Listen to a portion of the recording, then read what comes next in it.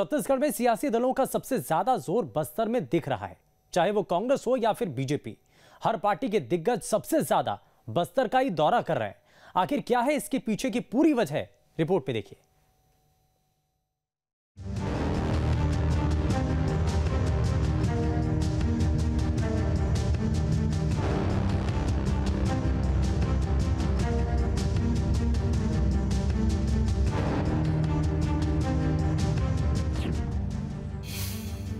रायपुर से ज़्यादा बस्तर में हलचल।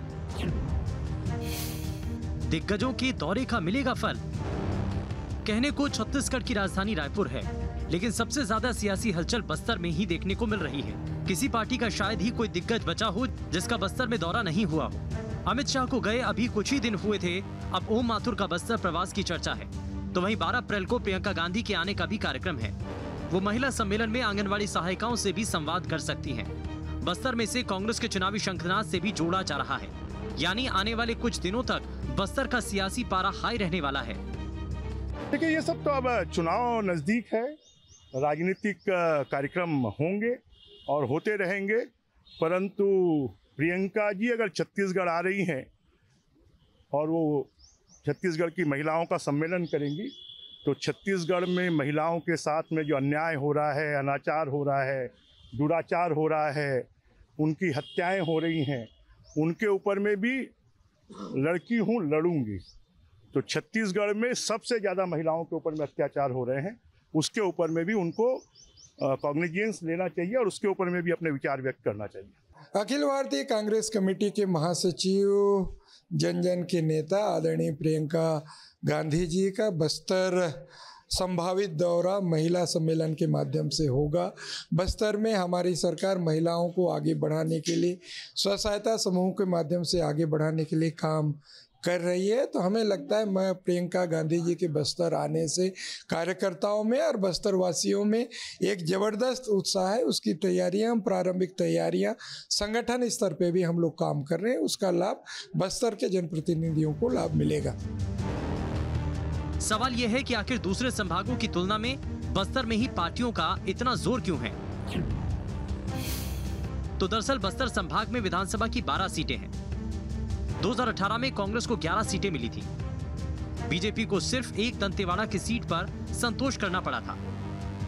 मगर बाद में हुए उपचुनाव में बीजेपी दंतेवाड़ा की सीट भी हार गई। यानी अभी बस्तर बीजेपी मुक्त हो चुकी है। 2013 में बस्तर में कांग्रेस के आठ और बीजेपी ने चार सीटें जीती थी। इससे पहले 2008 में कांग्रेस को एक और बीजेपी को 11 सीटें मिली थी। इसी तरह 2003 में कांग्रेस तीन, बीजेपी को नौ सीटें मिली थी। लेकिन 1999 में कांग्रेस बस्तर में 11 सीटें जीती थी। बीजेपी को सिर्फ़ एक सीट ही मिली थी। आंकड़े बताते हैं कि 1999 को छोड़ दें तो बाकी समय में बीजेपी का बस्तर संभाग पर कब्जा रहा है। लेकिन 2018 के चुनाव में बीजेपी का जनाधार कम हो गया। और रही सही कसर को कांग्रेस ने उपचुनाव में पूरा कर दिया, जब दंतेवाड़ा की सीट भी छीन ली। वोट शेयर में कौन कितना भारी रहा, अगर इस पर नज़र डालें। तो 2008 में बीजेपी को 42.26 प्रतिशत, कांग्रेस को 31.73 प्रतिशत वोट मिले थे, और इसी तरह 2013 में बीजेपी को 40.79 प्रतिशत और कांग्रेस को 42.99 प्रतिशत वोट मिले थे। जबकि 2018 में बीजेपी को 35.9 प्रतिशत वोट और कांग्रेस को 43.37 प्रतिशत वोट मिले थे। यानी बाकी चुनावों की तुलना में 2018 में कांग्रेस को बड़ा फ़ायदा हुआ था। छत्तीसगढ़ में सत्ता की चाबी बस्तर से निकलती है, यह कहा जाता है। इसी देखते हुए कांग्रेस और भाजपा दोनों ही बस्तर पर अपना ध्यान केंद्रित किए हुए हैं और जो कांग्रेस का सम्मेलन होने वाला है, महिला सम्मेलन, उसमें मितानिन और जो आंगनबाड़ी कार्यकर्ताओं को जो उन्होंने बजट में सौगात दी है, उसके आधार पर महिलाओं को एकत्रित करके प्रियंका गांधी वहाँ पे आ रही है। तो मुझे लगता है कर्नाटक की तरह, जिस तरह उन्होंने चुनाव के पहले गृह लक्ष्मी योजना के तहत घर के मुखिया महिला को दो हज़ार रुपये देने की घोषणा की, उस तरह की कोई बड़ी घोषणा कर सकते हैं। अब आपको बताते हैं कि आखिर बस्तर जीतने के मायने क्या है। तो दरअसल बस्तर के नतीजों का असर आसपास के कई जिलों पर पड़ता है। प्रदेश में आदिवासियों के लिए उनतीस सीटें रिज़र्व हैं। सभी उनतीस सीटों पर बस्तर के नतीजों का असर पड़ता है। 2018 में कांग्रेस को रिज़र्व उनतीस में से 27 सीटें मिली। तो बीजेपी को सिर्फ़ दो सीटें मिली थी।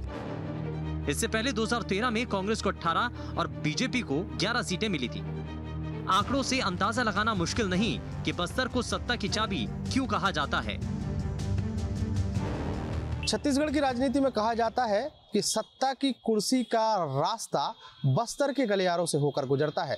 यही कारण है कि राजनीतिक दलों की नज़रें हमेशा बस्तर पर टिकी हुई होती हैं। ऊपर से चुनाव है तो स्वाभाविक है कि राजनीतिक दल बस्तर पर फोकस कर रहे हैं। एक तरफ़ कांग्रेस पार्टी वहाँ बड़ा सम्मेलन कराने जा रही है, जिसमें कांग्रेस पार्टी की राष्ट्रीय नेता प्रियंका गांधी भी शिरकत करती हुई नज़र आएँगी। दूसरी तरफ़, भारतीय जनता पार्टी का भी फोकस बस्तर पर है। भाजपा के प्रदेश प्रभारी बस्तर में बड़ी बैठकें करने वाले हैं और बैठकों के माध्यम से कार्यकर्ताओं में जोश भरने वाले हैं।